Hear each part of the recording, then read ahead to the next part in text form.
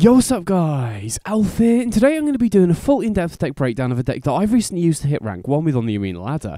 Uh, as you can see from the screenshot here, I'm currently 39 and 10 with this list, uh, and a few of those losses were definitely punts on my part as I was trying to figure the deck out as well, so it's been performing really well for me so far. And now, before I get into it, there will be a link down in the description with the importable deck list if you want to try it out for yourself. And I'm also started writing an article about this deck that will be up hopefully sometime next week on MTGA Zone Premium that will have full details, uh, you know, a sideboard guide, some tips and tricks to help play the deck as well. So if you're a premium member, definitely keep your eyes out for that, and I'll have a link to that down in the description once it releases as well. But anyway, with that all out of the way, this is my red black bombardment vampire sacrifice deck in historic. So Sorin and Vein Ripper has obviously been tearing it up in a bunch of different constructed formats recently, like Explorer, and I've been trying it out in Timeless as well recently.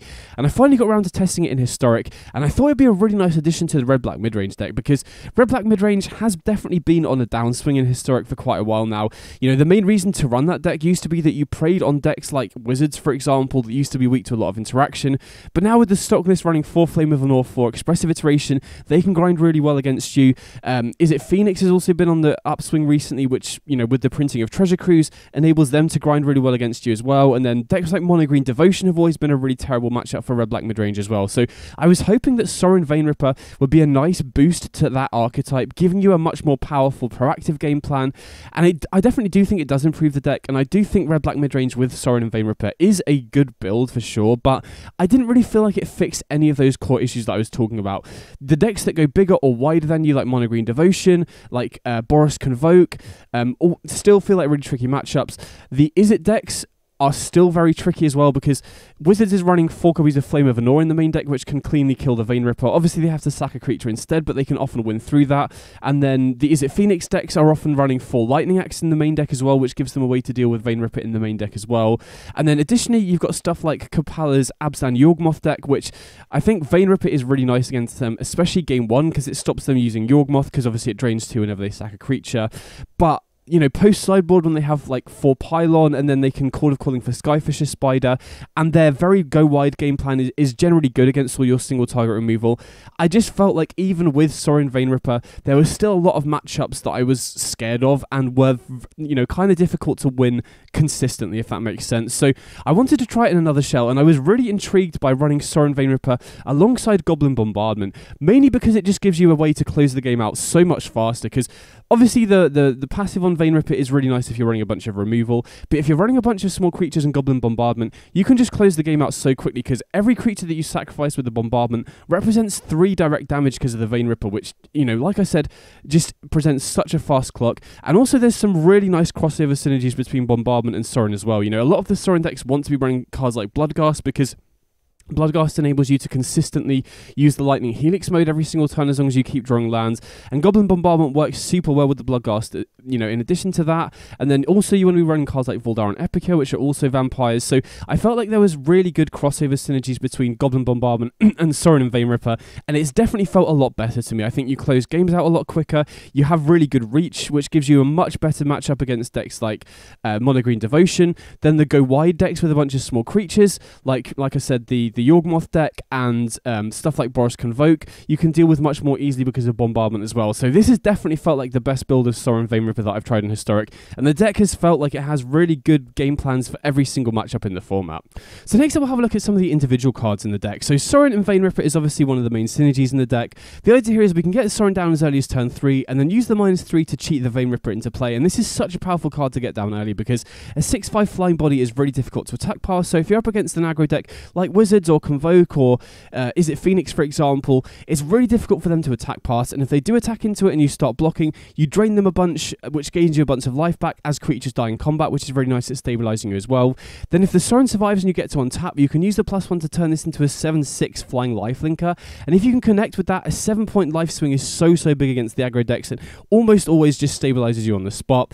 Then, on offense, it's also a really big creature. You know, like I said, you can turn it into a 7 6 flying life linker if the Sorin survives, and that's a immediately a three turn clock if the even if the opponent hasn't taken any damage so far from anything else. So really nice on offense as well. And then Ward Sacrifice a creature is also such a big deal on this card as well because at absolute worst, it still kills one of the opponent's creatures and drains them for four. So if you are against a deck like Izzet Wizards, for example, they still have to sack a creature and drain for four, which is really good at stabilizing you there as well.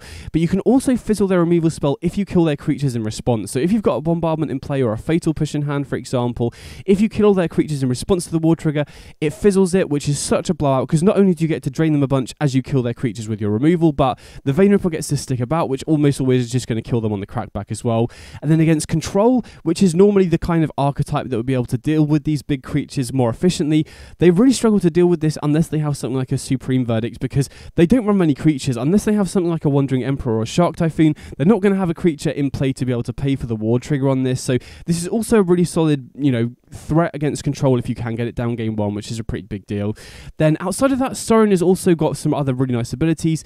Um, we can obviously buff the Vein Ripper to turn it into a 7-6 Lifelinker as well. We can also do that with Voldaren Epicure and Bloodghast because these are both vampires in the deck as well. But the, you've also got the Lightning Helix ability on this, which is really big, not only to give us additional reach, you know, obviously we are a sacrifice deck that's going to be dealing a bunch of direct damage off cards like Goblin Bombardment, so being able to use the Helix ability to deal 3 directly to the opponent is going to be a really good way to close the game out. But it's also really good at taking out creatures as well, especially against a deck like Izzet Wizards, which is still probably the most popular deck in the format from my experience.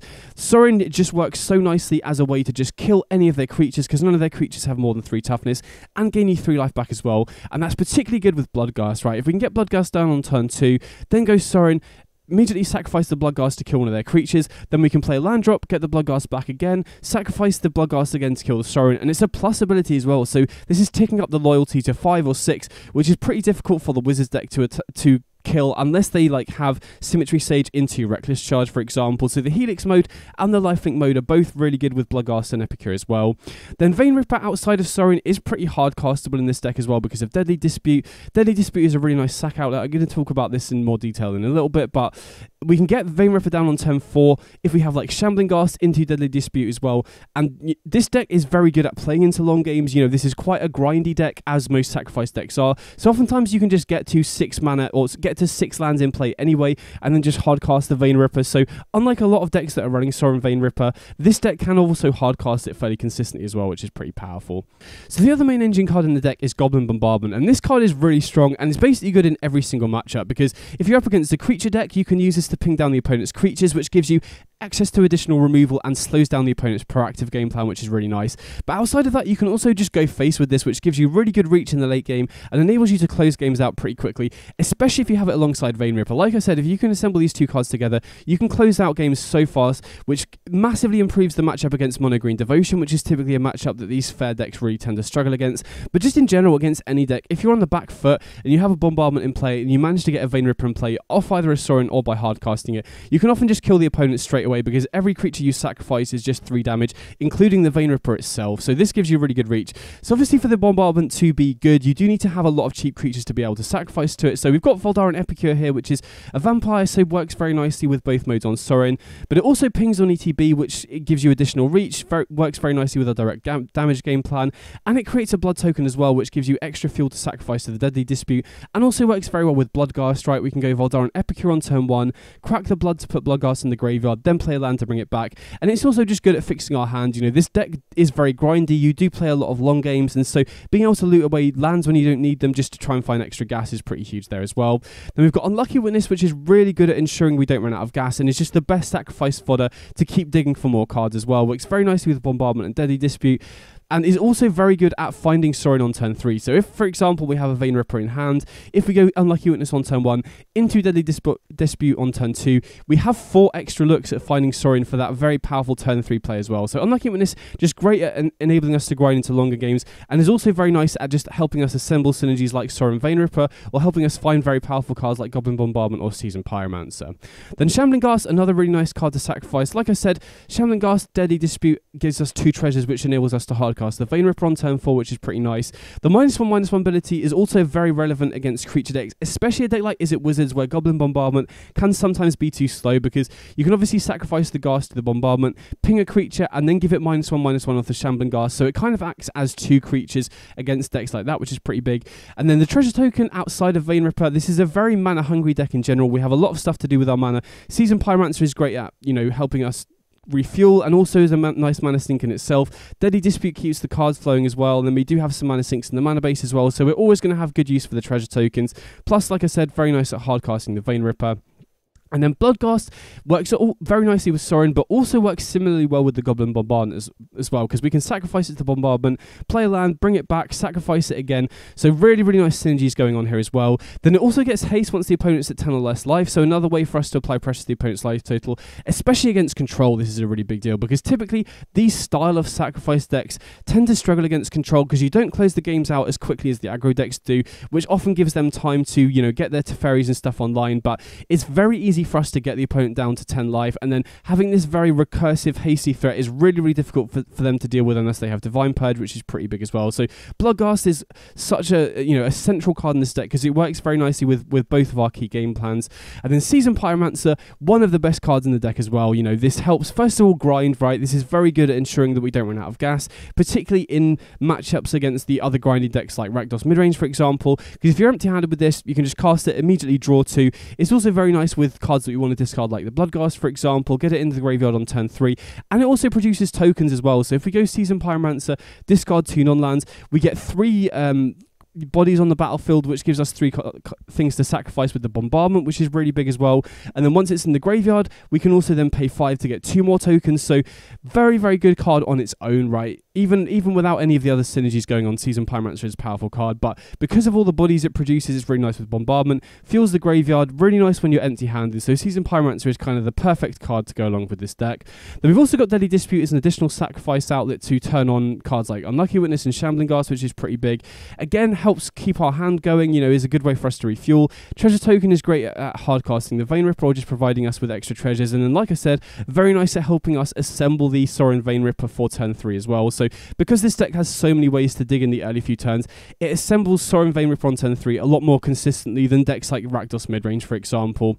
And we've also got four copies of Fatal Push. So, initially, I wasn't sure that I wanted the full four copies, but because we've got Goblin Bombardment as a way to pick off the opponent's creatures, but specifically the Izzet Wizards matchup, it's so important to kill their creatures quickly, and bombardment is very difficult to get three creatures in play quick enough to take out the, the opponent's creatures. So I felt like for Fatal Push in the main deck was important there. And then there are a lot of other matchups where this is good as well. So the Abzan Yawgmoth matchup as well is very important to have you know, one mana removal to take out their early ramp, like Delighted Halfling, for example, and also to be able to take out your uh, Yawgmoth on the spot before it starts to doing a ton of damage as well. So Fatal Push works very nicely in this deck as well because we can trigger a Revolt so easy because of all of our sacrifice outlets. And then in terms of the mana base, uh, 22 lands is, is pretty standard for these sorts of decks. You know, we do run important three drops, so hitting our third land drop is pretty important, but we do have Deadly Dispute, which is great at ensuring that we hit our third land. We have Voldaren Epicure that can help us dig towards our third land as well. So 22 has felt like kind of the sweet spot here. Now, I'm not running as many uh, utility lands as a lot of the other red black decks do because we do have pretty stringent mana constraints in this deck. We do ideally want to have double black on turn 2 and double red on turn 3 for Bloodghast and Season Pyromancer. Now, Bloodghast, typically a card that you might not want to hardcast on turn two. You often want to discard it to stuff like Epicure or Season Pyromancer, but I feel like it's very important to hardcast on turn two because in a lot of matchups, especially against decks like Izzet Wizards, you want to be able to hardcast Bloodghast into Sorin on turn three to use the Lightning Helix mode immediately as an interaction. So I do feel like it's important to have double black on turn two for Bloodghast consistently. And so in order to achieve that, we are having to run four Sulphurous Springs and Mount Doom in addition to all of the other typically good uh, black red dual lands, which is pretty painful, right? We are running a lot of pain lands, but we do have a lot of ways to gain life as well, right? We've got the Sorin and the Vein Ripper, which are both very good at gaining us life back as well. So I feel like in order to consistently have double black and double red, we do need to be running a lot of dual lands, but we do have some room for some utility lands. We've got one of each of the creature lands in Den of the Bugbear and Hive of the Eye Tyrant, which again just gives us extra reach, gives us additional stuff to do with our mana. Very good against control as well to just give us an extra thing to do without having to commit more creatures to the battlefield. Then one Takenuma and one Sokenzan, both actually very nice in this deck as well because Takenuma can help us assemble both Sorin and Vein Ripper if you want to try and assemble that synergy, as well as getting stuff back like Season Pyromancer, which is a good when we're empty handed. And then Sokenzan, the tokens are also very nice in this deck with Goblin Bombardment as well. So mana base, nothing too flashy because we do need to hit double black and double red, but it definitely serves its purpose. And the, the utility lands here also work very well with our game plan in general. So next up, we'll have a look at the sideboard. Starting off here with four copies of Thoughtseize, which is really important for a number of matchups. So first of all, very important against the control matchup. I'll explain my full sideboard plan against control in a second because we do pivot quite a lot against control, but very important against control, very important against combo decks as well, especially combo decks that aren't reliant on creatures. So creature-based combo decks aren't too difficult for us because we've obviously got Fatal Push and Bombardment, which is really good at keeping them off it. But against decks like Goblin Charbelcher or Indomitable Creativity, for example, Thoughtseize is super important because it's the only way we have of slowing them down, and they can often race us. They're not the most played decks, but Thoughtseize is very important to have in those matchups as well. And additionally, I think it's the best sideboard tool against Mono Green Devotion as well. So since Devotion started running Utopia Sprawl, I don't feel like cards like Fatal Push are an efficient way to slow them down, really. So Thoughtseize definitely feels like the best option in that matchup. I just, you know, taking the top end from their hand to slow them down. They're also a deck that tends to mulligan quite a lot as well, which Thoughtseize obviously punishes there as well. Then we've got three copies of Ob Nixilis, which is another tool against control. Really, really difficult for them to deal with efficiently because, especially if you casualty it, even if they've got a counter spell, they can typically only answer one of these, and then you've just got a Planeswalker on board, which is really difficult for them to deal with. If you get to keep both of these, it just applies constant pressure to them. You know, the main weakness of our main deck against control is against sweepers, especially Divine Purge is good at keeping stuff like Bloodghast, um, you know, out of the game because it, you know, makes us have to pay four to recast it, and then makes it re-enter always tap. So sweepers, especially stuff like Farewell as well, is a pretty big card against us. So having Ob Nixilis is a card that just completely dodges those and constantly applies pressure to their life total, especially if we can get it casualtied on turn three, is really, really difficult for control to ever beat. So while we're on the topic of control, I might as well tell you about my game plan against control because we do board in a lot. So against control, I like boarding in four Thoughtseize, three Ob Nixilis, two Pithing Needle because it's obviously very good against both Teferi and the Wandering Emperor, and then I also like bringing two copies of Unlicensed Hearse against stuff like Snapcaster Mage, Kaleem, and Memory Deluge, as well as sometimes they run stuff like Dig Through Time now. So we bring in all of these cards and then we cut Fatal Push, and then I also like cutting the Vein Ripper and all but one of the Sorins as well because Sorin Vein Ripper is good against control if you can get it down, but it also relies on the Sorin re- resolving. We don't have Cavern of Souls in the deck because I don't think we can afford to in the mana base, and so hardcasting Vein Ripper is basically never going to happen because they're almost always going to have a, con- a counter spell up by the time that we can do this as well. So I typically like cutting all of these, and then we go super low to the ground. We got discard spells. Like I said, Ob Nixilis is very difficult for them to deal with. Pithing Needle stops them running away with the game with Teferi unless they have something like a Divine Purge, and then Hearse is really good at keeping them off their synergies. Like Kaleem, like I said, Snapcaster Mage is a good way for them to start, you know, getting ahead on terms of card advantage, and then Deluge stops them pulling ahead as well, and is also just a nice threat as well, right? If we have a Hearse and they don't answer it, any creature off the top allows us to just crew it up and attack as well. So we do pivot quite a lot against control, but post sideboard, the matchup has definitely felt favoured to me, mainly off the back of cards like Thoughtseize and Ob Nixilis. Then, in terms of extra creature removal, we've got two Side and two Sheoldred's Edict. So, Side is basically just upgraded Strangle and is such a good card against the Izzet Wizards matchup. Like I said, um, Goblin Bombardment isn't actually as efficient against Izzet Wizards because the, killing their creatures quickly is so important. So, my sideboard plan against Izzet Wizards is I bring in two Side and two Sheoldred's Edict, and I trim two Shambling Ghast, and I actually trim on two Goblin Bombardment for that reason as well, because you really don't want to be drawing this card in multiples in that matchup. Drawing the first copy is nice, especially once you have started to stabilize, because once you do get to having access to more mana, we can then start using bombardment to pick down their creatures as well. But having efficient removal like Side is so so important. And like I said, one mana removal takes out the creature straight away. If you're on the draw, it's essentially like a lightning bolt as well. You can play it instant speed, which is pretty big. And then the reason I'm, I'm choosing to run Sheoldred's Edict instead of just the full four copies of Side is predominantly for mirror matches against other Sorin decks. So initially I did just have four Side, and the Wizards matchup felt great because of that. But I did then queue into Rakdos mid range and the opponent just had Sorin Vein Ripper, and there was basically nothing that we could do, right? We're a sacrifice deck, which is going to trigger the opponent's passive ability on this as well. So, against opposing Sorin Vein Ripper decks, I like bringing Thoughtseize to keep them off that synergy, and then have Sheoldred's Edict as a way to, to kill the Vein Ripper as well. And then it's also just more flexible, right? There are other matchups that are going to have big creatures as well. So, for example, if you're against a reanimated deck, having this as a way to take out something like a Serra's Emissary or an Atraxa as well is pretty big. So, I like splitting this Up here. Both are good against wizards, but Sheoldred's gives you a way to take out bigger creatures as well. And then next up we got Pithing Needle, which like I said, I bring against control, but is also very big against a lot of the creature-based combo decks as well. Stuff like Yawgmoth, you bring in a name Yawgmoth. Against Samwise, you bring this in a name Cauldron Familiar. And then against Kethis, you can bring this in a name Kethis as well. So very nice against control and the creature-based combo decks as well.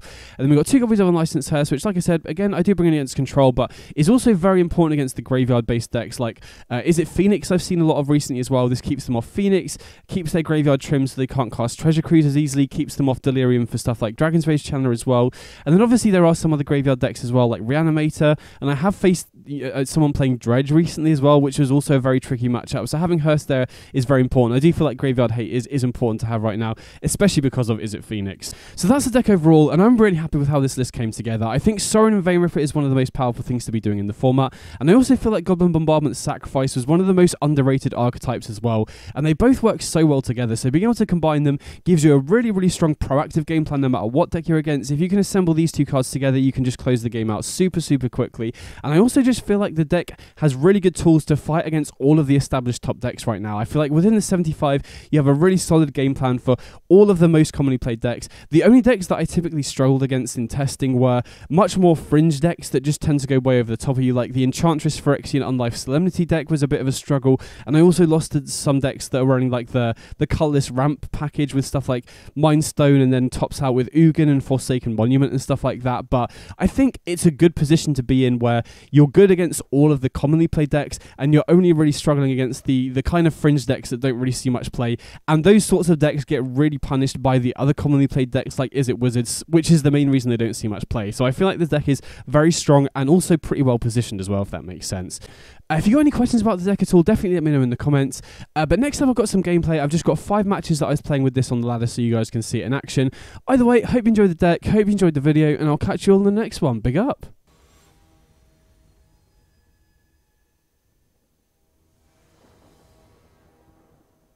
Okay, so we're going second tier.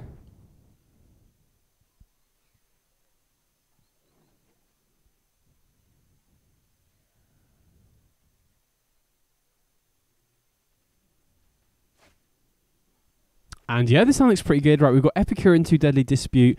Uh, we've got, you know, we, we can sacrifice the Blood Token to the Deadly Dispute, which then means that we could sacrifice the Voldaren Epicure to the Sorin as well if we need to use the Helix ability. So, Lurrus into Hallowed Fountain, either going to be Auras, okay, or they're, they're on the, the Artifact aggro deck. So, really got to hope they don't have an Ornithopter here. If they don't have Ornithopter, we could use the Bombardment next turn to just cleanly kill the Ingenious Smith before it starts growing. Um, if they do have Ornithopter, they are presumably just going to cast it this turn, make the Smith a 2-2, which puts it out of range. Okay, they do have the Ornithopter, and they find a Retrofitter Foundry, so opponents getting their synergies online pretty nicely over there. So we draw Bloodghast, which we obviously can't cast this turn. I think we're just going to use the Deadly Dispute, and I think I'm going to do it now as well, because we don't want it to get hit by a Metallic Rebuke, really, because if we can hit something like a Fatal Push off it would be pretty nice. Oh, wow, we found the Vein Ripper. That's pretty sweet. Now, there is maybe an argument actually to holding off on the Deadly Dispute, because we probably prefer them using dis- uh, using the metallic rebuke on the dispute rather than the the Sorin, for example. But I still like getting off there because if, if we can find a fatal push off the dispute, we can just push this Smith. And just getting the treasure token in general allows us to play around the dispute a little bit more easily anyway, right? Because we can then get to a point where we can pay the tax a little bit more efficiently. Well, they choose to portable hole the treasure token. That does deny us the mana a little bit. And they do represent um, mana here for dispute. So I think I'm going to lead on the season pyromancer here because having the the Sorin get hit by dispute is pretty rough here. So and the the season pyromancer is good in this spot. So if the season pyromancer resolves, I think we're in a decent spot. And if it doesn't, I would much rather have the season pyromancer be countered than the Sorin because I feel like Sorin Vein Ripper is going to be really difficult for their deck to beat, especially because their creatures don't typically scale. I mean, obviously this Ingenious Smith could get to a five five pretty quickly, but we can chump back that on the ground chump block that on the ground pretty easy. Oh, they do have Shadow Spear though, which is a bit of a concern. But I still feel like Vein Ripper is going to be very good in this spot. So here we're going to be taking five trample damage anyway. So we're just going to chump block the the Ingenious Smith and, and take the damage from the the five five. And I think here we just have to jam the Sorin and hope they don't have it. I feel like if they had Rebuke, they would have used it last turn on the Season Pyromancer most likely. So they would have had to draw it for this turn. Okay, they don't have it, so now we get to get the Vein Ripper down. And now we've got Fatal Push Up as well, which is pretty huge. So here we can just go Vein Ripper, I think it's probably greedy to attack. Maybe we can attack with some of the smaller creatures here, but I feel like we're winning the long game regardless. We have the inevitability in this spot. So here it's very important to hold on to the Fatal Push because if we push the 5-5 now, they can just re-equip the Shadow Spear to the Ingenious Smith.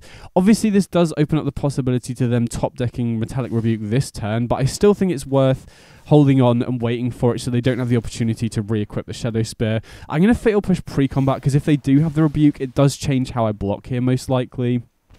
But we get to drain them for two anyway, start getting life back. Now we can just chump block the Ingenious Smith here, drain them for an additional two off the Vein Ripper, and with Goblin Bombardment in hand, I think we just have lethal this following turn, even though the opponent's at 20 life here, right? They could obviously have a way to block the Vein Ripper if they cast like an Ornithopter here or something like that, but if they don't, I mean, even with that, I think we still have a, a decent shot of being able to go for lethal here. So let me just calculate. So I, we're definitely going to attack first here, obviously. I'm just trying to think whether we should plus the Sorin to give the Vein Ripper life link, or just use the Vein, use the the Helix ability. I think we're just going to use the Helix ability here because there's nothing that can fizzle what we're trying to do here. I don't think. You know, we've got enough mana here to be able to play around Metallic Rebuke if that's what they do have. So puts them down to nine. Then we sacrifice the Bloodghast to this basically deals five damage, puts them down to four, and then we just play the the Sulphur Springs, and then we can play Goblin Bombardment. And even if they have the the Metallic Rebuke, we we can still resolve the the bombardment here. And now each of our creatures represents three damage, so we have a way over lethal here, even though the opponent was at 20. So get to take down game one there. This has felt like a pretty good matchup so far in testing. Uh, in terms of sideboarding, I think I like Pithing Needle here because that is a way they can grind against us. If we can't get Vein Ripper down, then them getting you know multiple foundries down is a really good way for them to go over the top. Typically, if I'm looking for trims, you know, uh, uh, is a fairly free thing to trim. Now, obviously, Shambling Ghast does enable some pretty fast starts for us. Like, for example, if we go Shambling Ghast into Deadly Dispute, then we get two treasures to enable us to hardcast Vein Ripper on turn four, which is pretty good generically. But when we're trying to find cuts to bring sideboard cards in, it does feel like the the least central card to our game plan, if that makes sense. I think Epicure is really important as a vampire and a way to to loot uh, Bloodghast into the graveyard. I feel like Unlucky Witness is just by far and away the best sacrifice fodder. Bloodghast obviously works super well with both of our game plans, and then everything else is pretty central. Obviously, there'll be some matchups where we cut Fatal Push, but this is definitely not one of them. So this hand looks pretty good to me. Just trying to think what in terms of cuts. I, I do want to keep the Fatal Push. Bloodghast I mean, it is very nice with Sorin, but I feel like it's probably the least important card in our current hand, if that makes sense. I could have also maybe seen an argument to to actually no, I was going to say I've seen an argument to putting back the Sorin here, but Sorin, you know, we have the Epicure here already, and then if we can find the Vein Ripper, it's a really important card as well. Obviously, drawing Season Pyromancer off the top. If I knew that was going to be the top card, I think I probably would have put back Sorin instead because, or maybe, maybe Deadly Dispute because obviously you do want to have the. Um, you do want to have the uh, the Bloodghast when you've got Season Pyromancer because it's just the best card to discard off it. So here I just want to use the Fatal Push on the, the Esper Sentinel without giving them an extra card. They cost another Sentinel, so they kind of force us to use it now. Um, which I think is fine. I mean, it's it's a little bit awkward because we then have to play around this second Sentinel when we're thinking about casting Deadly Dispute or, or Sorin, but we could just go for the Season Pyromancer next turn instead, potentially. Or now we could just go for, for Deadly Dispute as well. I think I like just jamming the Season Pyromancer here, though. If they have Metallic Rebuke, then it's not the worst thing in the world. If they do have Metallic Rebuke, then we still have a pretty solid follow-up the next turn, right? We can, if we draw a land, we can potentially go Sorin, sack the Epicure. If not, we can go Deadly Dispute and pay for the the Sentinel tax. So even though Pyromancer did get countered there, it's not the worst thing in the world, I don't think.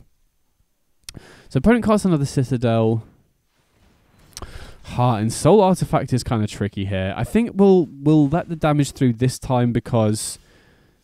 Oh, wow. Okay, we drew Vein Ripper. So now I think we just got to jam the Sorin, right? If they don't have mana up here for the for the Metallic Rebuke, so now we can just get the Vein Ripper down, which is pretty big in this spot, right? Because that is a potential way that we can just you know, mitigate the, the damage we're taking off the Citadel because of the drain ability on the Vein Ripper here. Um, we can obviously use the, the Sorin ability to sacrifice the Epicure to kill the Esper Sentinel, but I assume they're probably going to prioritize attacking down the Sorin here. Uh, they do have Glass Casket as well, so that takes out both our blocker and our fuel for the Sorin as well. There's no way that we're going to be blocking the with the Vein Ripper here, right? Unfortunately, we just got to lose the the Sorin, which kind of sucks because we could use the Sorin to turn the Vein Ripper into a 7-6, which would then mean that we can just block the Citadel all day and not have to worry about it. So losing the Sorin there does kind of suck. So that was a good sequence for the opponent there. Oh, okay. Drawing the Fatal Push is huge here because Hushbringer does shut off the the the uh, the passive ability on Vein Ripper. So I think we just got to push the Hushbringer here. Definitely want to do it now this turn while we've already paid for the Sentinel tax. And then we're going to ship it back. We could obviously attack with the Vein Ripper, but we're already at 12, and that would allow them to freely attack with the Esper Sentinel, which would be 6 damage, puts us on an immediate 2 turn clock, which I don't think is a great idea. Ha, they have another Hushbringer, which is pretty awkward, because now that shuts off the ETB of the, the Season Pyromancer. So here we could obviously use the Deadly Disputes, and but but I really don't want to be giving the opponent any extra cards here, right? This is a super low resource stalemate, and so we would only have access to 3 mana off the Deadly Dispute, and if we whiff, then that's really bad when we're staring down this attack from the Darksteel Citadel every single turn. So here, I think I'm just going to ship it back. They can't really attack with anything other than the Citadel, so I'm just going to use the Season Pyromancer from the graveyard, get two jump blockers in play, chump block the Citadel, and now next turn, we have a chump blocker in play for the Citadel. We we can more, you know, freely just go for the Deadly Dispute here. Again, the Hushbringer is going to shut off the drain ability on the Vein Ripper, so we still need to be very wary of this damage that we're taking from the Citadel every single turn.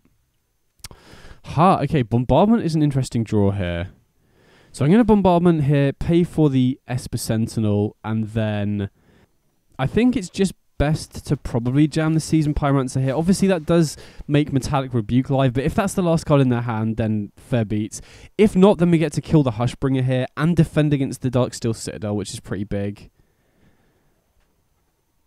Okay, looks like they, they've got priority, but that could just be the Retrofitter Foundry. Okay, sweet. That's pretty big. So we get the Seasoned Pyromancer in play. Obviously, we don't get the ability off it, which is a little bit annoying, but here we can just, you know, chump block the Citadel and then kill the Hushbringer with two pings off the bombardment, which is pretty nice, right? We get the Hushbringer off the battlefield, then Vein Ripper becomes live again. Then we've got the Seasoned Pyromancer in the graveyard, which gives us two additional tokens, which we can then use as chump blockers as we need if we need. They do have the Lurrus in hand though, which they could obviously use to get the Hushbringer back. Which is something we need to be wary of. And also, the other awkward thing here is that if we do sacrifice both creatures to the bombardment, we don't have a good target for the Deadly Dispute then. But I feel like having two creatures in play is pretty big here because Hushbringer is shutting off our way of closing the game out from this spot, right? We don't really have a good way with how he sideboarded to remove the Darksteel Citadel from the battlefield. So I think the main way that we win this is just off the Vein Ripper passive. So for that to work, we obviously need to take the Hushbringer out here, really. And I guess the other thing is with the Seasoned Pyromancer that makes this quite easy is we can go Vein, uh, sorry, Bombardment, take out the Hushbringer. Then if they do cast Lurrus, we can then use Seasoned Pyromancer to make two more tokens and then use the Bombardment to take out the, the Lurrus. Ha, another Ensoul Artifact. Okay, that's a bit of a problem. So they attack with both Citadels. Wow, okay, I'd love for them to attack with the Hushbringer.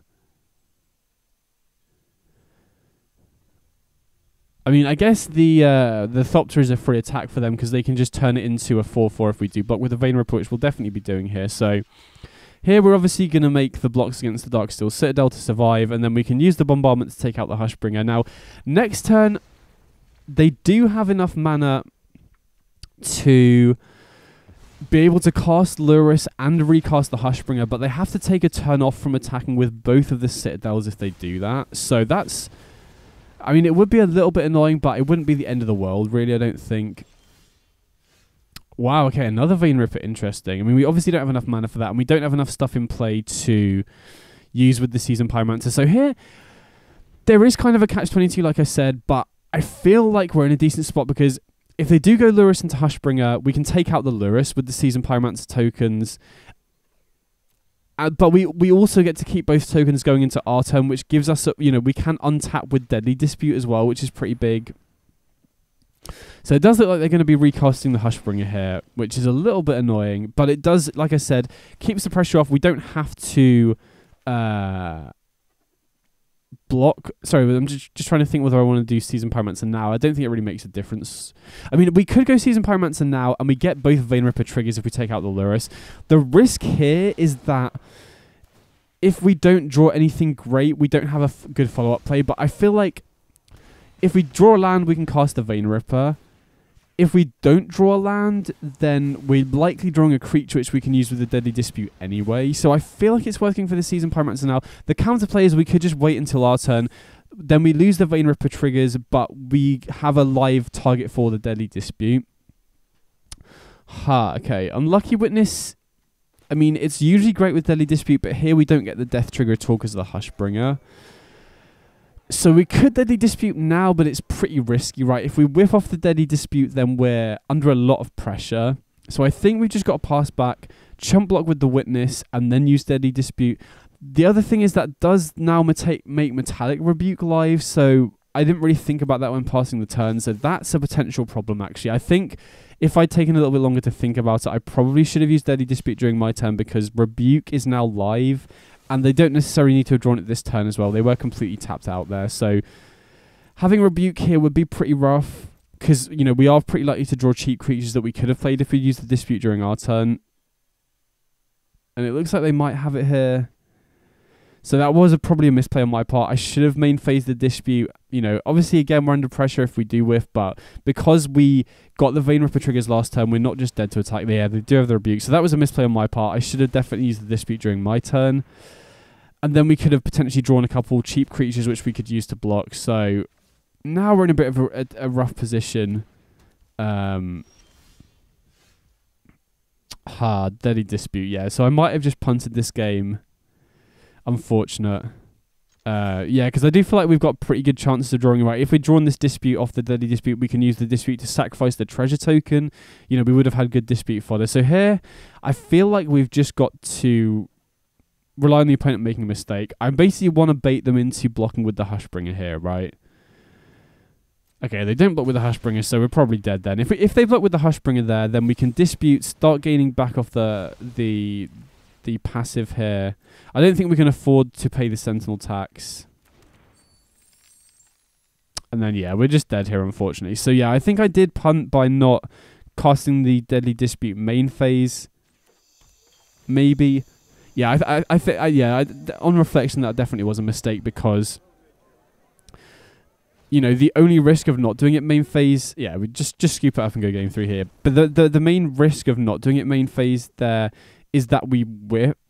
You know, if we whiff off the dispute, we don't have unlucky witness as a chump block for one of their their citadels, but opening us up to a potential metallic rebuke when they were, you know, when they were tapped out that time, we could have done it cleanly. Yeah, that was definitely a mistake on my part, but I feel like with a bombardment in play and a a second uh, Ripper in hand, we probably would have been able to win that game, even with two Ensoul artifacts in play because we can, you know, if, as long as we draw some creatures off that dispute, we can then use the bombardments to ping down the Hushbringer, get the second Vein Ripper down, and then just start chump blocking with a bunch of creatures and draining the opponent out at the same time. Uh, so yeah, unfortunate, but actually thinking about it, I maybe should have brought in the the Sheoldred's Edict as well. Uh, or instead of the Pithing Needle potentially because of the Ensoul artifact. So maybe I made a mistake in sideboarding. So this hand, I feel like is we're keeping it off the back of the Seasoned Pyromancer, but now that we've got Sorin Vein Ripper and we, this hand just lines up perfectly, right? We've got the Fatal Push for the Hushbringer. Now we can go Sorin while they don't have Metallic Rebuke up, minus three, get the Vein Ripper down, and the next time we can go Pithing Needle into Seasoned Pyromancer, and even if they've got Soul Artifacts, we're basically guaranteed to get the Sorin Plus off here unless they have Pithing Needle or like, you know, Get Lost or something, or like a, you know, Fateful Absence or something, so you know, Vein Ripper is much, much more effective on this sort of board state than when we're getting attacked down by the Ensoul artifacts every single turn. And additionally, like I said, getting off the plus one ability off Sorin is so, so big here because it basically just means that we can just block the Ensoul artifacts every single turn, which is pretty huge. So, yeah, I feel very, very confident in this game. Obviously, being on the plays made quite a big difference as well.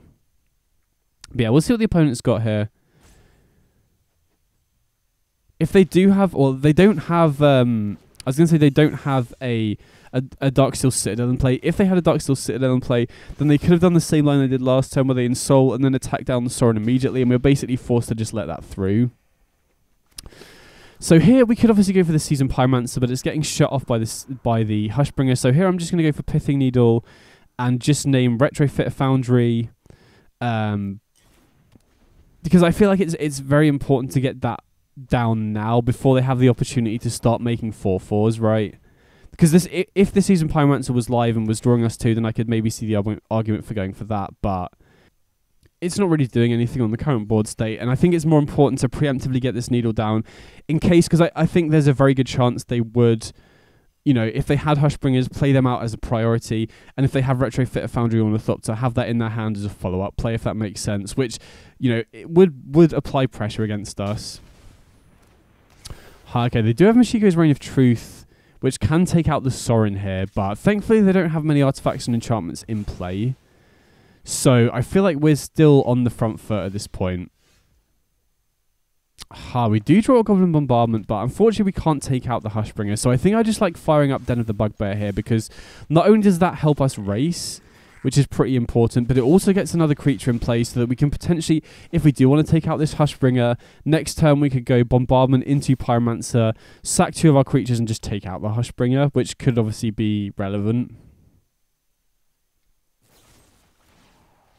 Ha, they do have an answer for the Vein Ripper here, and they deny us the, the, the passive ability, so they take out the Vein Ripper.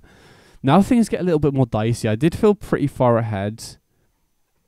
I mean, opponent's still at three, but they do get to attack him with the Hushbringer, puts them back up to six again.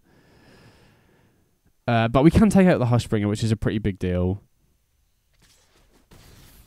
And they don't have access to Metallic Rebuke here either. So whatever we cast next turn is basically guaranteed to resolve. Okay, they just ship it back. I mean, again, I'm just going to fire up the Den and attack, right? They're not going to get the, the Michiko's buff again. This puts them down to one which first of all means they can't activate Spire or a Dark Waste for coloured mana if they don't attack with the Hushbringer. Uh, it means they need to keep four creatures back to block the Den of the Bugbear, and also means that they're just dead to Goblin Bombardment, right? Even if they attack with Hushbringer, puts them back up to two, we can just cast Bombardment, sack both of our Goblin tokens here, which is, you know, another reason why I was very keen to attack with the Den of the Bugbears, because it gives us more fodder to sacrifice to the Bombardment here, so... I feel like we're we're winning in so many different ways here, right? I'd be very surprised. The the only other thing I'm worried about here is if they go, you know, artifact, artifact, Michiko's Reign of Truth to buff the Hushbringer again.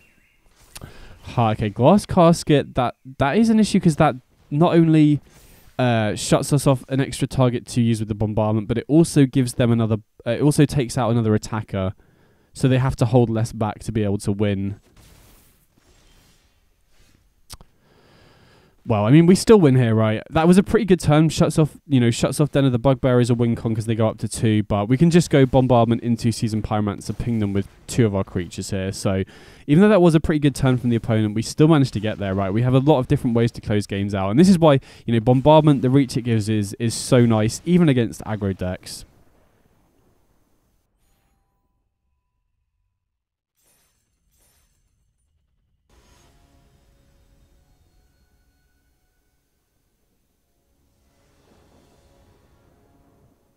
Okay, so we're going first here. And yeah, this sound looks good. Right, we've got Epicure on turn one into probably Deadly Dispute on turn two, but we've got the option to Bombardment if the opponent does play a one toughness creature, and then we've got Seasoned Pyromancer to fix our hand, we've got Bombardment to get online as well, and then, you know, Deadly Dispute into Vein Ripper is also, you know, a very real way to hardcast it if the game does go long as well, so pretty happy with this hand for sure.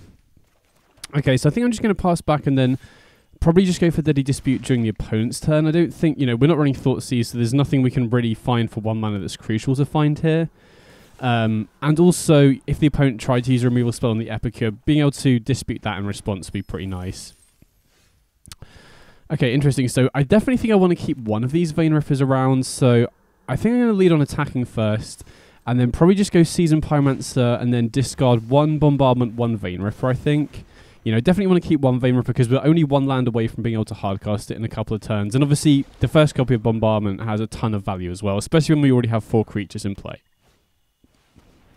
Okay. Fable of the Mirror Breaker. So, almost definitely going to be against just Rakdos midrange here, I think. Um, so, we can play Bloodghast and then, you know, play bombardment and then play land, but I definitely, you know, there's no way we should just burn this treasure token here without any good reason. I'm going to attack with everything before we play the bombardment because I think there's more of a chance they might block. I guess it doesn't really make a difference here because I imagine we're going to be killing the. Um, killing this uh, 2-2 token anyway because we really want to deny them the mana. There's there's still a reasonable chance they could be on Sorin Vein for themselves, and so I want to deny them the treasures so they can't ramp into the the Vein Ripper if they do have that, for example. And like I said, you know, we could have obviously gone um, Bloodghast, Bombardment, use the bombardment to to deal one damage, then play land to bring black the black the blood bloodghast. But we'd have to mm. sacrifice the treasure in order to do that, and the treasure is really important at enabling us to cast Vein Ripper this turn. And I think we should just win, right? Unless the opponent happens to have Sorin into Vein Ripper themselves, we should just be able to win by going Vein Ripper and then just sacrifice our board with the bombardment because it each creature represents three damage. We've obviously got our attack steps as well, and with you know with four creatures in play. That's obviously 12 damage in and of itself including any any attacks that we get through with as well.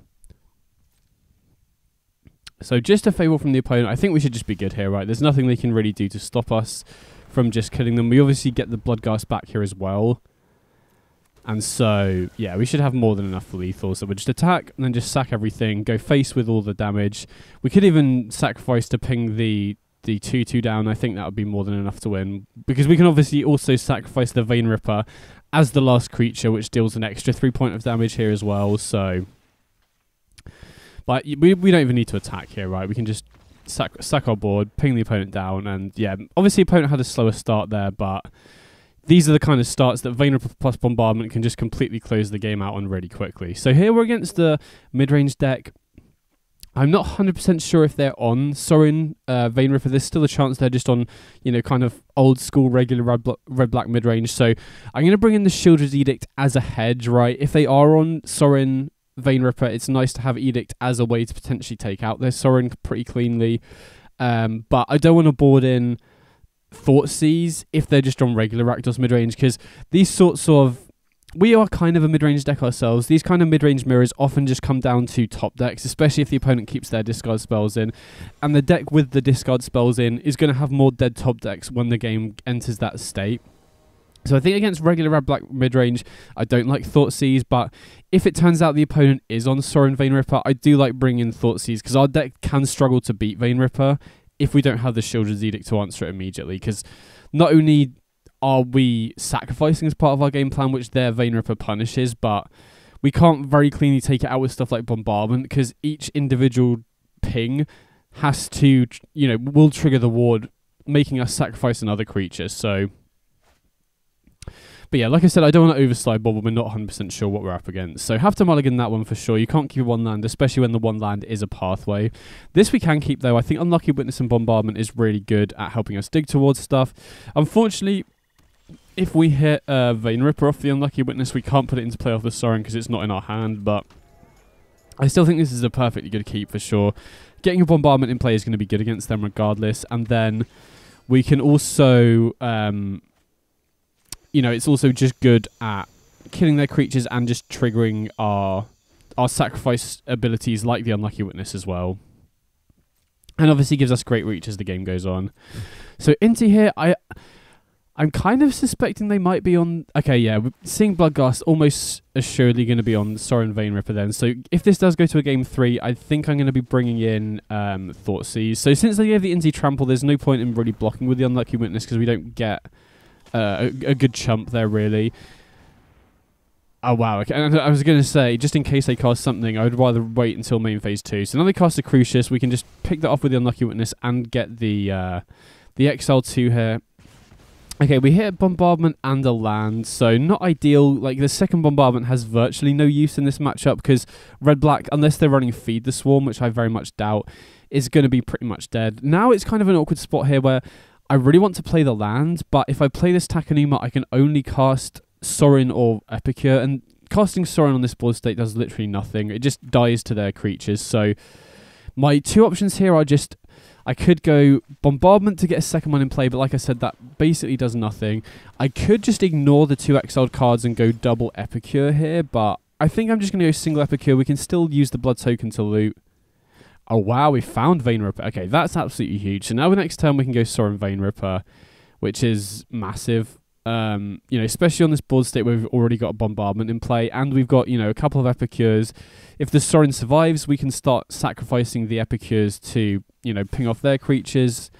Um, we can obviously also use the Sorin to make the Vein Ripper a seven six. Okay, yeah, so definitely opponent's definitely on Sorin Vein Ripper. Um, I'm not sure how much I love Inti in their deck. I mean, I guess it does discard Bloodghast and it is nice with Crucius as well. So that is actually not bad. I've not tried this. I've not tried the Crucius Inti builds out that much myself. So they do hit Pithing Needle, but with the current knowledge they've got, I assume they're just going to Pithing Needle the bombardment here. If they, if they, and also, you know, they're also running Sorin themselves, so it would be very weird for them to name Sorin off this Pithing Needle. Wasn't sure whether to block with the Voldaren Epicure there because if they have another land, they can just immediately bring it back. But here, I think you know we definitely want to get the the the Vein Ripper down here for sure. Uh, oh wait, wait, wait, wait, wait. Oh, okay. This is an absolute punt on my part. If they have Sheoldred's Edict, I'm gonna feel like such an idiot here. I obviously should have cast the Epicure first. This okay. Gotta pray we don't get punished for this because this this was an absolute punt on my part if we did. Okay. So that was just a huge mistake. I should have obviously gone Epicure first before the Sorin. Um, and then that plays around Sheoldred's Edict. That was, and that is a card they could very reasonably be running. So that was just a huge mistake on my part. Obviously, we didn't get punished, thankfully, but yeah, that was that was really stupid of me. So here, I wouldn't be surprised if they, uh, oh, they do have a removal spell for the Vein Ripper, but it wasn't a Sheoldred's Edict.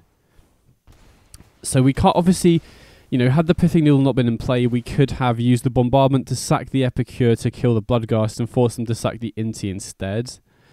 Um, well, they don't attack the Sorin. I mean, I'm pretty happy to see that, I think. And the, the Drain 2 off the... Okay, they don't activate the Inti, so their last card in hand must be something they want to keep, obviously. Okay, Push is a nice draw here. Now we can take out the Inti. And we also have access to the Sokenzan here as well, but I think I'm just going to ship it back. And I think I'm going to wait for them to attack because if they, I think there's a good chance they just discard something from their hand to buff the Inti. Because if they buff it to a 5 5 and then a 6 6, that puts us on a 2 turn clock rather than a 3 turn clock. So I think there's a chance they might discard something that they might want to use otherwise just to increase their clock. I think there's also a very good argument to pushing the Inti before the attack trigger, but I may, maybe I'm maybe I'm just too lost in the source with that decision potentially. But I feel like you know we are at 11. They might want to discard something. You know, say they had two good cards in hand, they might just want to discard one to put us on an immediate two-turn clock, force us to block there. Maybe, maybe that maybe I'm just thinking too much about it though. There's a chance I should have just pushed pre-combat there, but so they play Fable, and we obviously still have the Sorin ability here, even though they've got the Bombardment unlocked. So I think I'm just going to use the Sorin here to sacrifice the Epicure, take out the 2-2, because, you know, they are empty-handed, so the treasure isn't going to matter as much, I don't think, right now, but... You know, if they top deck Vein Ripper, that's a way they can turn that on. Um, and you know they've obviously got the Den of the Bugbear, so it could ena- enable them to cast another spell and fire up Den as the game goes on as well. Okay, they do have Liliana here, and they do minus on the Epicure, which makes a lot of sense because, you know, that could represent another fuel for the Sorin uh, Lightning Helix mode. So even though the opponent's at 6, and so Hive represents a two-turn clock, I still think I'm going to attack down the Liliana here, mainly because they've got the Fable flipping this turn, and so any creature, or they, they can defend the, the Hive just using Reflection plus Den of the Bugbear, even if they don't draw another creature. And I also want to keep this Deadly Dispute, especially when we have this blood token around. So even though Hive is kind of the greedy line because you can take them out in two turns, they can already defend uh, against it because they have Reflection plus Den. So I think taking out the Liliana makes a lot of sense.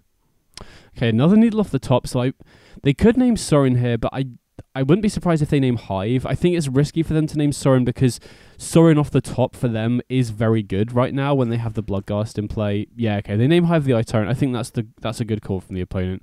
Thankfully, they don't have enough mana here to also fire up the Den. And we do have Deadly Dispute, which is a very nice card here. You know, if we chose to just go face there, not only would Liliana discard our Deadly Dispute in this position, but we would also not be able to attack with the this the Hive the following turn. So Ha, okay, Bloodghast is a nice draw, especially when they're below 10 life because this has haste. So thinking about sequencing here, I think it's probably correct to lead on the Deadly Dispute first just to see what we draw because I think we're, you know, we're not going to sacrifice the Bloodghast to the Deadly Dispute. I don't imagine, right? Actually, having said that, we could have maybe that was a missequence because we could have used the blood token to put the Bloodghast in the graveyard, cast the land, attack with the Bloodghast, and then Deadly Dispute off that, and then we see a card deeper. I mean, thankfully we drew Epicure off the top. Maybe that was a misplay. I'm gonna have to go back and rewatch this one to make a, a better decision about whether that was right or not. I think with the information we had, it probably was correct to loot the Bloodghast first, but I'm not 100% sure. Either way, this worked out fine. We get to attack with the Bloodghast here, puts them down to three. Then we can sacrifice. I think we'd sacrifice the treasure token here. I, I, I value the Bloodghast on the battlefield when they're at three. Wow, okay, that's a nice draw. So now we're just going to be hard, hard casting Vein Ripper next turn. I think that should be good. Right, we're at 15, so we don't have to worry about them uh, with the Den, really. They also don't have enough mana themselves to cast Vein Ripper if they do draw it, so I feel like we should be in a great spot here. Wow, they fire up the Den. Okay, maybe they just figure that they're dead, right? Even though they don't know what we've drawn here. I mean, they're dead to, to the Vein Ripper regardless, right? But yeah, I, I feel like the opponent could have played more defensively there. They wouldn't just be dead on board. But I think, you know, with an average draw off that Deadly Dispute, we're probably going to be winning from that spot anyway. But yeah, we got there nice. Oh, we're against Nora. Shouts out to Nora. Really great deck builder and player. Be interested to see what they're playing. Okay, so we're on the draw here. And yeah, this hand looks pretty good. We have quite a few lands here, but Unlucky Witness into Deadly Dispute is great, especially because with a Sorin in hand, you know, we can potentially draw. Um, okay, Epicure, I'm actually going to lead on because they've shocked in Steam Vents here.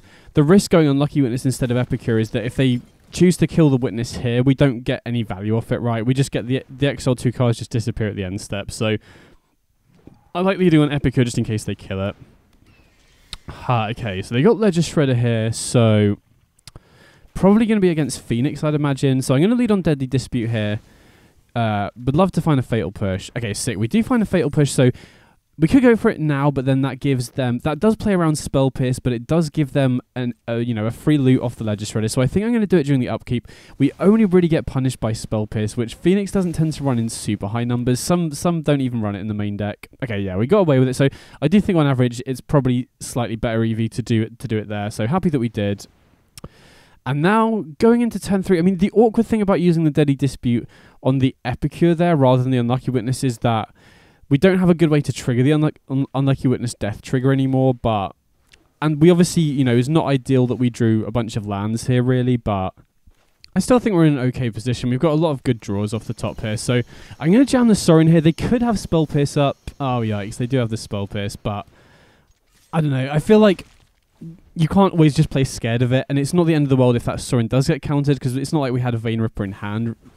And they could have also, you know, they represent a lot of different cards by holding open the blue mana there. It could be an end of turn opt, could be an end of turn consider, so obviously a little bit annoying, but again, I don't think Phoenix tends to run Spell Pierce in too high numbers, and it wasn't the end of the world it getting countered there. So I'm just going to run out Bloodghast and Unlucky Witness. Thankfully, they've had a pretty slow start here. You know, if they if they'd had uh you know a fast start with multiple Phoenixes to back up that Spell Pierce there, then I'd be a little bit more worried. But here, I'm you know, I, as long as they don't have a crazy turn this turn, I think we're still in a decent spot. Right, we're still at 19. They're down to 13 now as well. We've we've got this Hive of the Eye Tyrant as well. So if they don't get the Phoenixes back, or we find a way to kill them, we can potentially you know, get them out of the graveyard, which would be pretty sweet. And then, you know, at 13, as they get towards 10, we can start bringing back Bloodghast with haste to apply pressure as well. So, thankfully, we're still in a, a reasonable spot, even though we had a pretty slow start, just because they also had a, a pretty slow start themselves.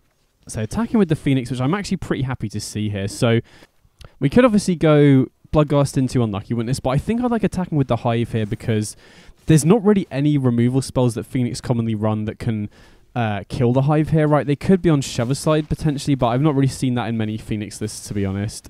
Um, we do lose out on the unlucky witness ability, but this puts them down to seven, which then makes the Bloodghast in our hand have haste. It also gets rid of the Faithless looting from their graveyard, which shuts off more potential options.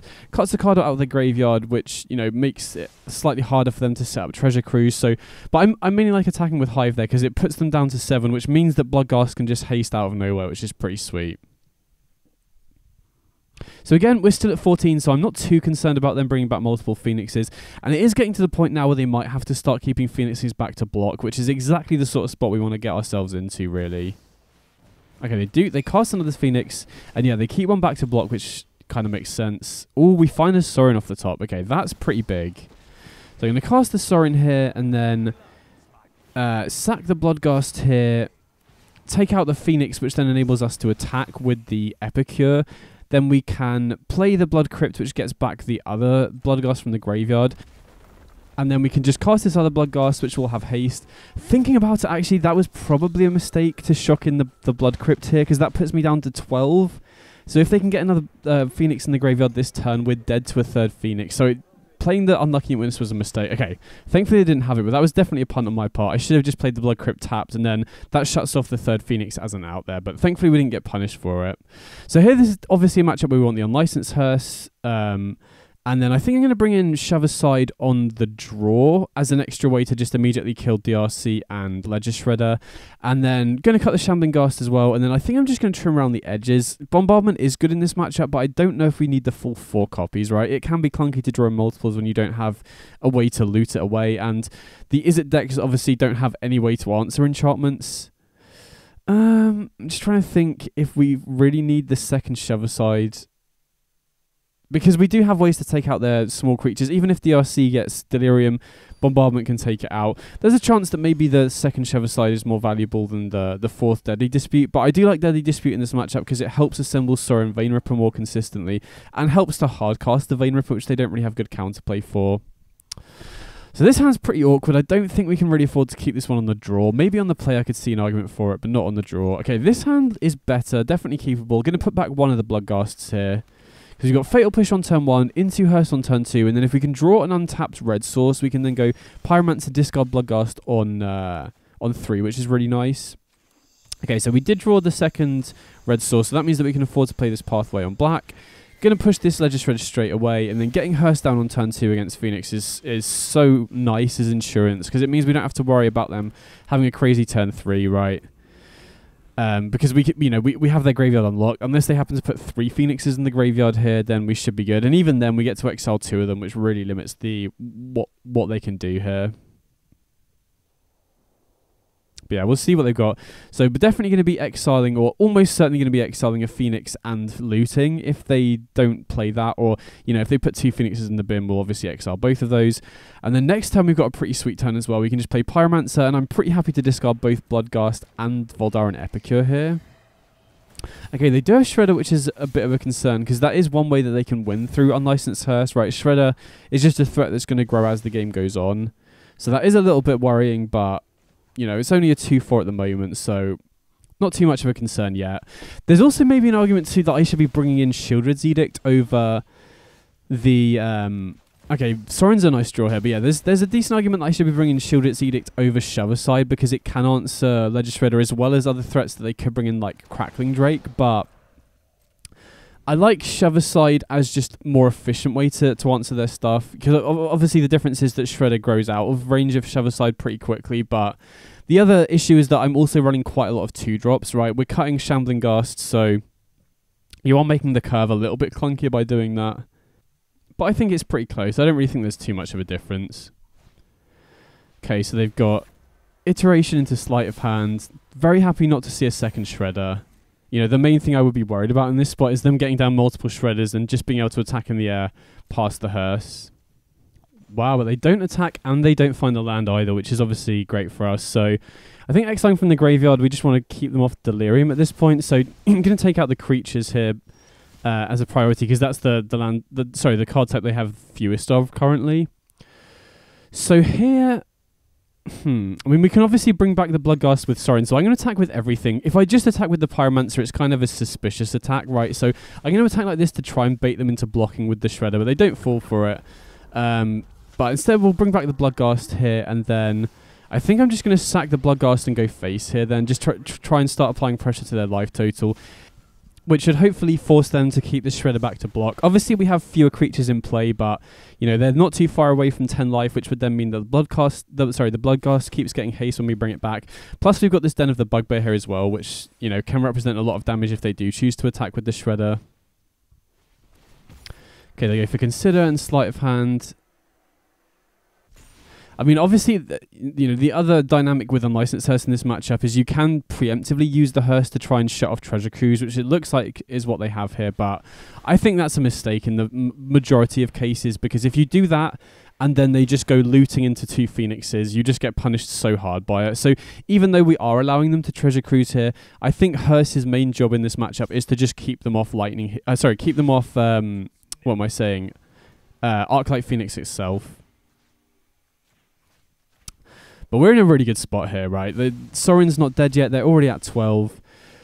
So we could potentially start crewing the hearse up here. They've only got access to one red mana here, which, you know, the vast majority of interaction that Phoenix can run isn't going to be able to take out the hearse here, but I feel like Hearse leaves us vulnerable to fading hope into Phoenixes the following turn, right? So even though it probably is safe for me to fire up the hearse, which you know is going to represent a lot more damage here, especially when we combine it with the the Sorin Helix mode.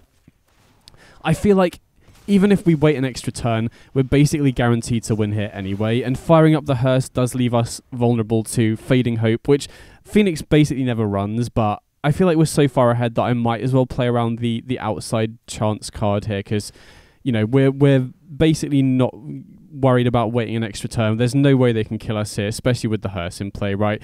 They could maybe go Abrade into looting double Phoenix, but even then they have to leave back blockers. Even then we have land bring back Bloodghast, so maybe maybe I'm supposed to just fire up the hearse because I think it's it's so unlikely that they do have um, fading hope. But like I said, I feel like it's relatively safe, and I would I would rather play around more things in in a spot like this.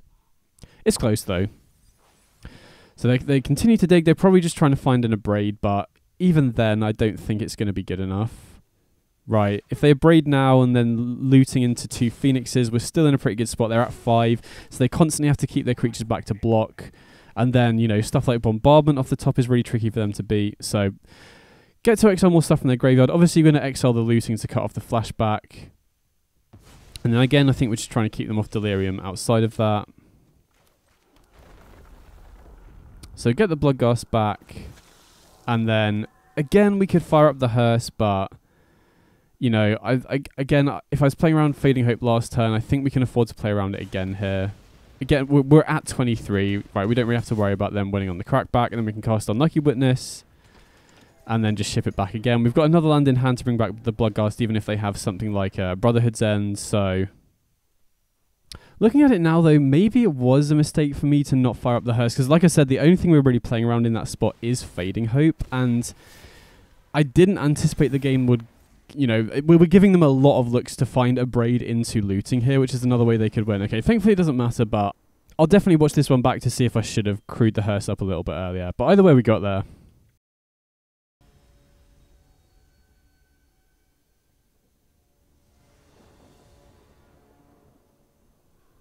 Okay, so we're going second here. And hard. Can't keep a one land, especially when it's not a dual land. This hand, I think we can keep right. We've got Unlucky Witness into Bloodghast, into Sorin's Sack. The Bloodghast, which is, you know, not the fastest curve out, but it should do, I think. Okay, so Sing Jegantha and a uh, an Izzet dual land, almost certainly going to be against um, Izzet Wizards here if I had to guess. Thankfully, no creature on one, which is pretty big, especially when our hand is, is kind of slow here. So, going to run out the Unlucky Witness on turn one. I'm going to choose to run it off the Sulfurous Springs, which does deal us a damage, but I probably want to play this pathway on black to go for Bloodghast next turn. And I think going for Bloodghast is more important than Bombardment here because, yeah, especially if they play a creature here, we really want to be able to go Bloodghast into Sorin to, you know, use the Lightning Helix mode to take out one of their creatures here. So Double Symmetry Sage is scary to see, right? That does represent a lot of damage if they have a fast or, you know, a, a powerful turn here, but you know, hopefully they don't have a crazy turn and then we can resolve Sorin, use the Bloodghast to sacrifice the Symmetry Sage, and then with only one creature in play, they might struggle to immediately attack down the Sorin, which would then enable us to bring back the Bloodghast and to take down the next Symmetry Sage. And, you know, I'm Flame of Anor is obviously good against us, but it's uh, not another creature, which is pretty important, I think. We do have a chance of winning this game now, even though we had a relatively slow start, I think. So I'm going to choose to shock in the Blood Crypt over the Mount Doom here because I feel like Mount Doom is going to deal us more damage over the course of a game. Could be slightly wrong on that, but either way, we play the Sorin, sacrifice the Bloodghast, take out the Symmetry Sage, and then, unless they have a way to take out the Symmetry Sage, we can just play Den, get back the Bloodghast, activate the Sorin again, take out the Symmetry Sage, which would be pretty big. Okay, there's Arcanist. Hopefully they don't have the Reckless Charge. Okay, they do have the Reckless Charge, which is pretty rough. So now they can also Flame of Anor to draw to as well. They also get to take out the uh, the Sorin here, which is kind of rough. So yeah, that was what I was kind of scared of. If they'd had a turn where they don't have uh, another creature into Reckless Charge, then Sorin could survive here, or you know they would potentially have to use a Wizard's Lightning on the Sorin, which is obviously another burn spell that's not getting used against one of our creatures or going face, for example. So Unfortunately, Sorin does go down, which is a pretty big deal in this spot.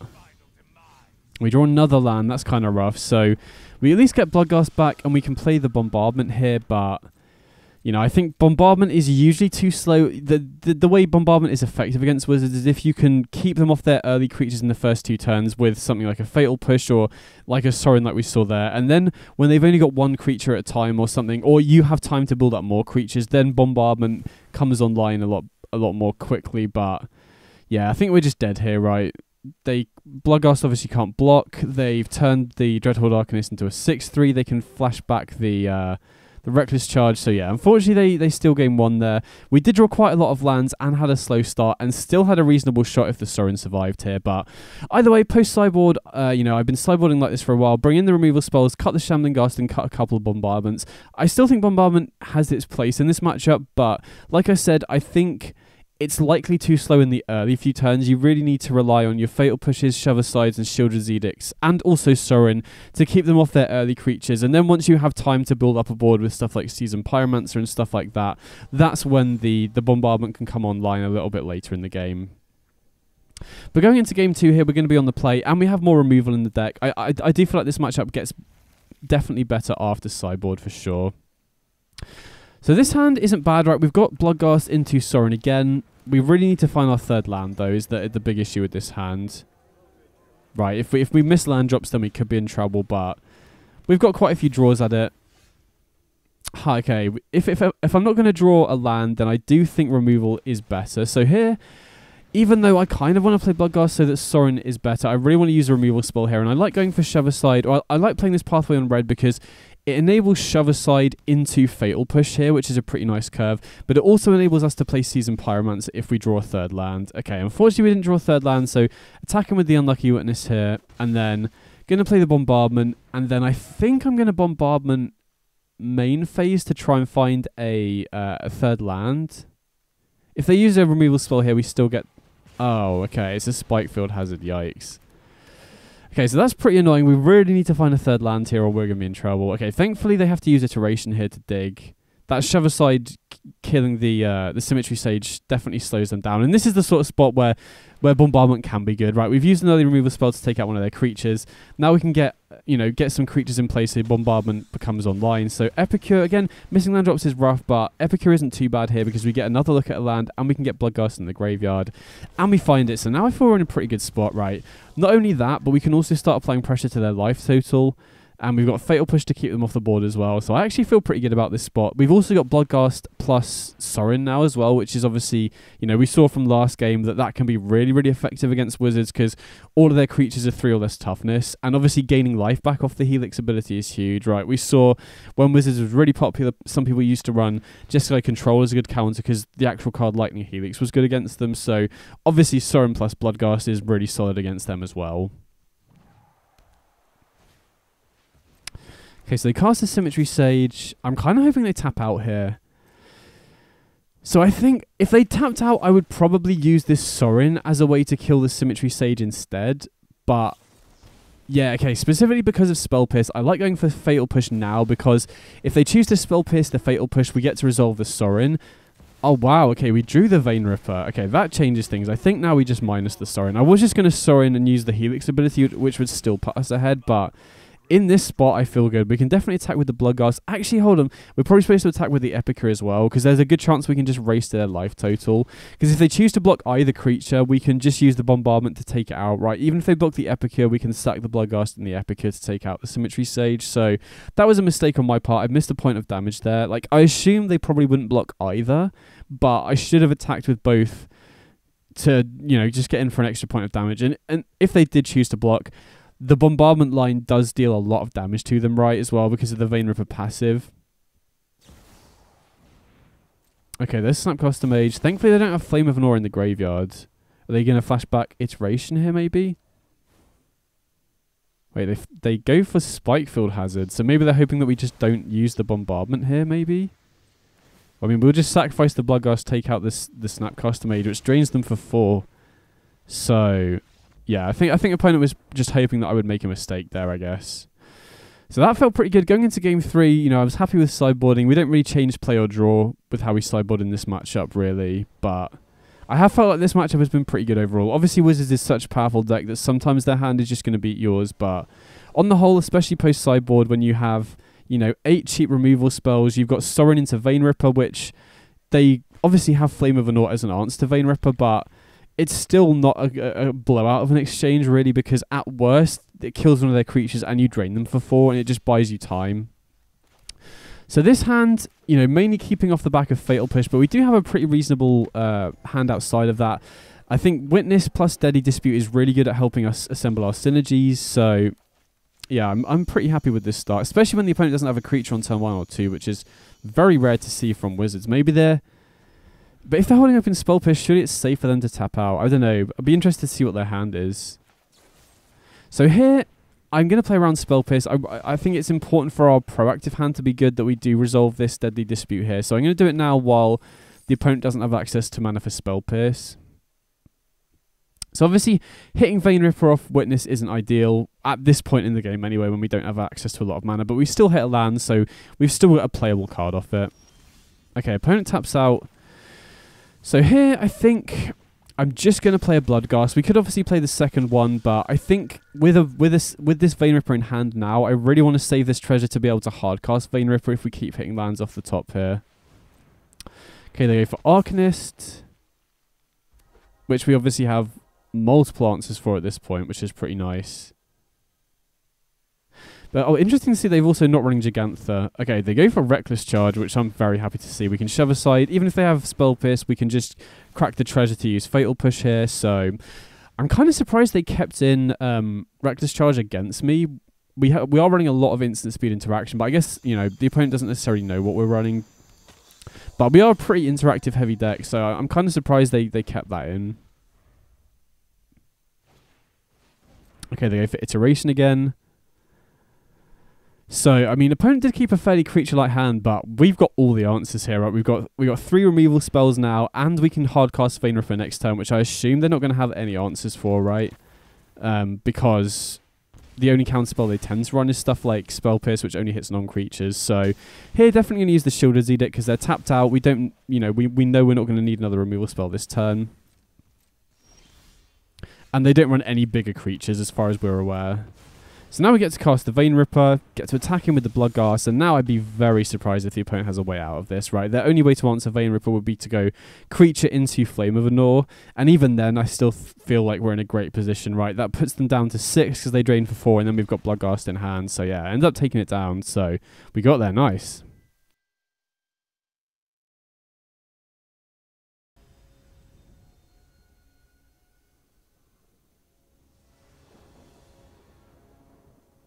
Okay, so we're on the play here. And yeah, this hand looks decent to me. Obviously, we would prefer to have something on turn one, but this hand's still pretty reasonable, right? We get to go Bombardment into Seasoned Pyromancer pitching Bloodghast, which is always a nice curve out. And then, you know, depending on what we draw, we could potentially keep this Vein Ripper for if we find Sorin or you know, if we want to, if there's other stuff that we want to keep, we could potentially pitch the Vein Ripper to the Pyromancer to get an extra token in play for the bombardment. Okay, interesting. So they're running Lorien Revealed and Thundering Falls. So could this be creativity maybe? Or, uh, you know, Jeskai Control? Oh, looting. Is this Phoenix? I hope it's not like a super all-in graveyard deck like uh, Mizzix Mastery or something like that because game one is going to be really difficult if that is what we're up against. I mean, we do have Thoughtseize, we do have Hearse in the sideboard, so we do have good counterplay post sideboard to that, but, you know, you need to draw those cards for to win those sorts of matchups.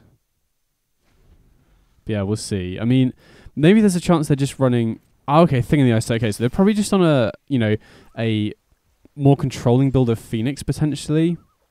Oh, wow, okay. Sorin's a sick draw here. I mean, if they are in a more controlling version of Phoenix, then I feel like they could obviously have Spell Pierce here, but if they are in a more controlling build, then I don't know. I feel like we've just got to jam the Sorin here, right? If they have Spell Pierce, they have Spell Pierce. If not, we massively increase our chances of winning here. Right.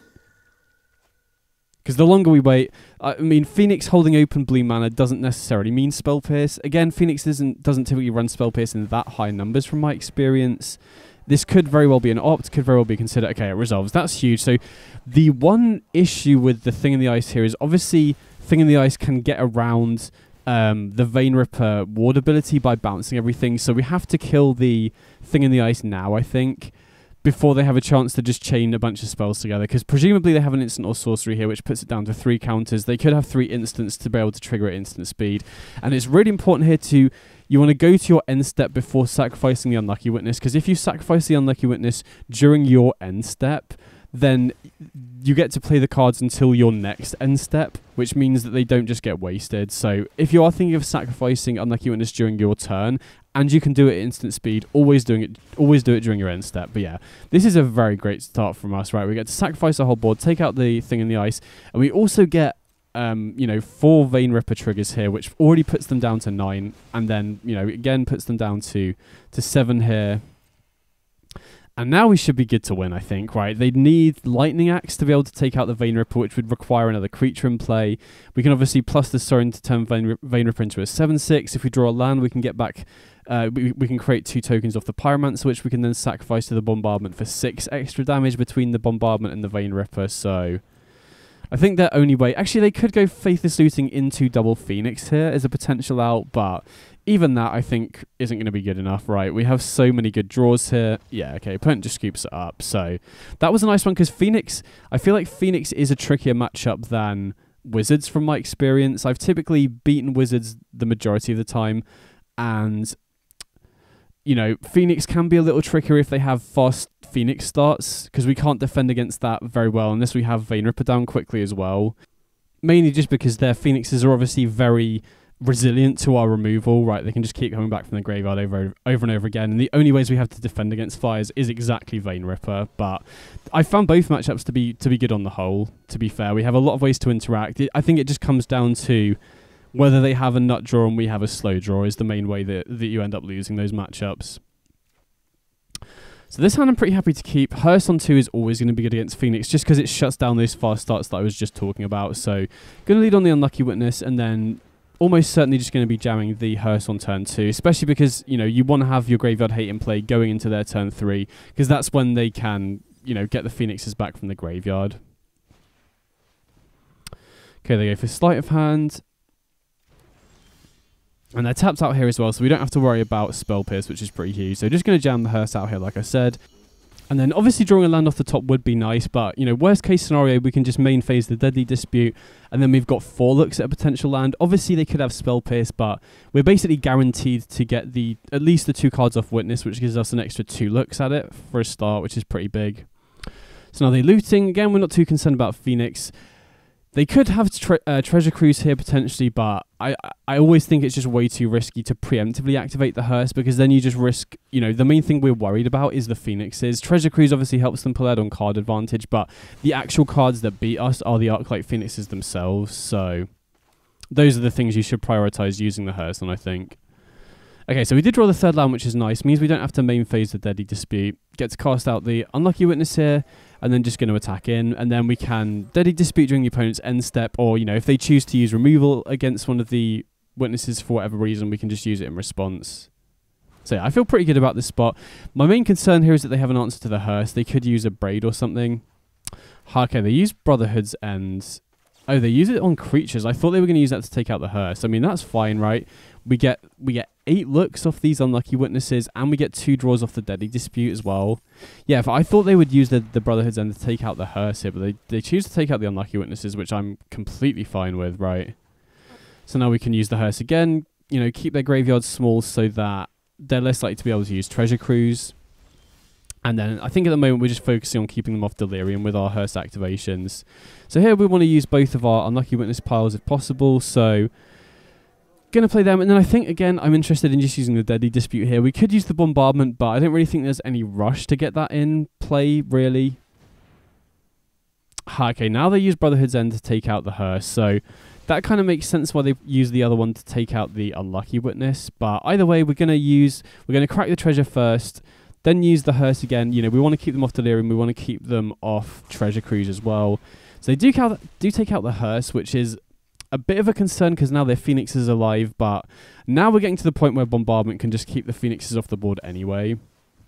Right, because we can go Bombardment into Seasoned Pyromancer, which starts making tokens, and then we can just start sacrificing our creatures. You know, we only need two creatures to take out a Phoenix, so really limits their ability to race us, basically. So now we're going to use the Deadly Dispute before we lose the, the black mana that we tapped for not the best hits off either of those really, but you know, this is why Seasoned Pyromancer is so good. It just really, really solid at fixing our hand. So since we've already got a lot of lands, I think we're definitely going to play the Epicure off the, the Unlucky Witness here. I'm going to play the Bombardment first here though because of Spell Pierce. Obviously, we don't want to risk um, having it countered because this is the main card that is going to keep them off their phoenixes from this point onwards, I think. And getting bombardment in play is huge, specifically against an Izzet deck because they just have no way to deal with enchantments from this point. So definitely going to be discarding two lands to the to the Pyromancer here. You know, obviously getting an extra token in play would be nice for the bombardment, but you know, with this many lands, it's it's really nice to just filter them away. We obviously want to keep the fatal pushes here, and then keeping the second seasoned Pyromancer is really nice because even if we do draw more lands like we have here, we can just you know filter them away with the with the Pyromancer if we if we can.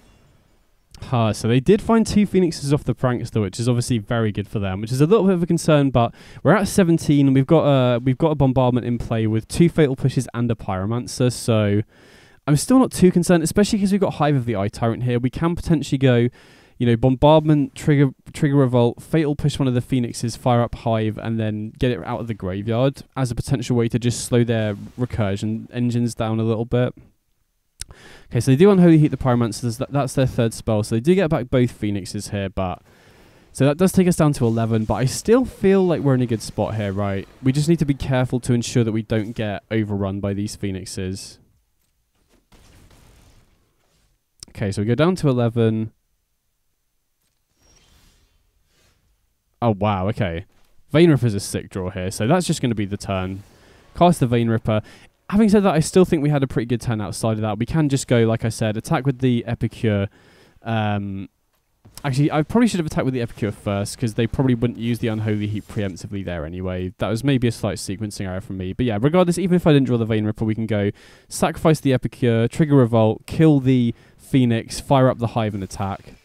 Thing in the ice, again, I'm not too concerned about because we can just recast the Vein Ripper and it bounces the Phoenixes back to their hand if they do go for it as well. Looks like they're exiling stuff from their graveyard, so yeah, they do have a treasure cruise here, but if they don't have a way to take, you know, they would need to have three, they would need to draw exactly They they could they, they I was going to say they would need exactly three one mana uh, here, but they would also need an additional land. So I don't think there's any way they can flip thing in the ice this turn. And if if they don't flip thing in the ice this turn, I think they just lose next turn, right? Because because we have, you know, we can trigger revolt with the blood token, we can double push the phoenixes, and then seasoned pyromancer for the win. I think. Well, I mean, we have to prioritize taking out the thing in the ice regardless. Um, and then Gonna cast the Sorin here. Gonna plus on the Vein Ripper and then attack. And if they choose to double block, we can just crack the Blood Token, trigger Revolt, and kill one of the Phoenixes.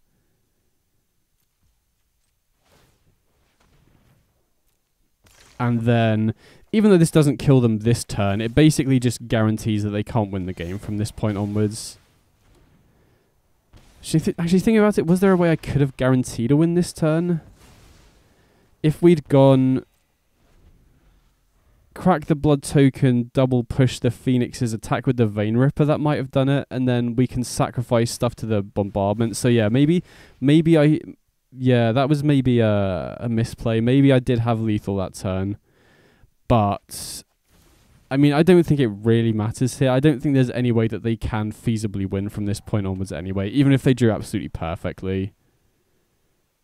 Right, because to, to kill the Vein Ripper, they would need like double Brotherhood's End or creature into Lightning Axe, and we just sacrifice the Vein Ripper to the bombardment, which puts them down to six, and then we can go Pyromancer, discard the Bloodghast, sacrifice the Blood, oh, you know, Bloodghast, sacrifice to Sorin, then Pyromancer from you know our hands. There, there's there's a ton of different lines, I think. So I probably should have played a little bit slower last turn to figure out if there was lethal. And I'll definitely watch that turn back to to try and figure it out. But I think we're so far ahead at the, at the moment that it shouldn't end up mattering, hopefully.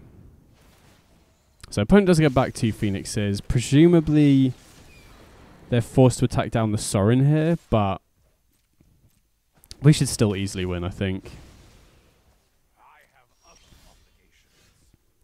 Yeah, so here we can go Seasoned Pyromancer, discard both. Oh, I guess it doesn't really matter. I'm going to lead on the Unlucky Witness because then we at least get the... Um, you know, we get the death trigger off the unlucky witness. Now we can sacrifice three creatures to take out the, the prankster, drain them for a bunch, and then just attack attacking for lethal. Uh, just trying to think the best way to sequence this. So take out the the prankster. Yeah, opponent just scoops out. So I did maybe misplay a couple of turns ago, but thankfully was so far ahead that it just didn't end up mattering there.